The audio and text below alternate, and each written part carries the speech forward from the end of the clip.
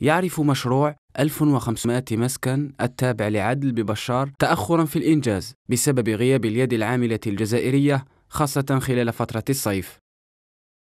طبعا إحنا بعض الحاجات اللي بتقابلنا هنا مشاكل العمل. أنا مشكلتي فيهم نسبة الحضور بتاعتهم مش كويسة.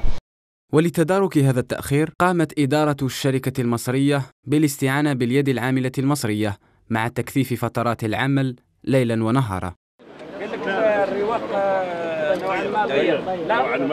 السلطات المحلية وخلال معاينتها للمشروع وقفت على الإشكال.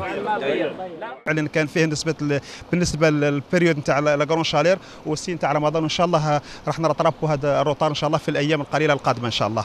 معناها تقريبا الورشات كلها تعرف ركود في خلال فصل الصيف. إعادة الانطلاق تاعها يكون دائما في ديبي سبتمبر إن شاء الله. فهل سيتمكن المصريون من تسليم المشروع في وقته خاصة وأنه لم يبق أمامهم سوى أربعة أشهر من أجل تسليم الدفعة الأولى؟